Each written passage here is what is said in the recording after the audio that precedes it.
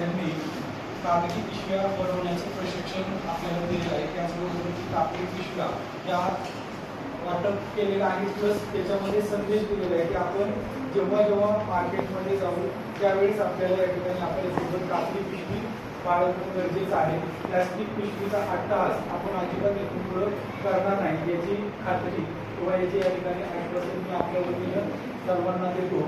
त्या कार्यक्रमासाठी आवर्जून उपस्थित राहिलेल्या महाविद्यालयाच्या प्राचार्य डॉक्टर सोनाली पाटील मॅडम यांचं मी एनएसएस युनिटच्या वतीनं मनपूर्वक आभार व्यक्त करतो.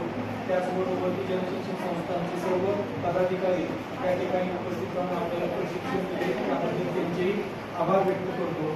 त्यानंतर आपले जनता शिक्षण मंडळाचे सन्मान्य अध्यक्ष ॲडव्होकेट गौतमभाई पाटील हे नेहमी आपल्याला विविध कार्यक्रम आयोजित करण्यासाठी पाठिंबा देत असतात. त्यांचा मॉरल सपोर्ट हा नेहमी असतो. त्या त्याबद्दल त्यांचेही महाविद्यालयाच्या वतीने मी आभार व्यक्त करतो तसेच आपले राष्ट्रीय सेवा योजना कार्यक्रम अधिकारी आठवले मॅडम पंकज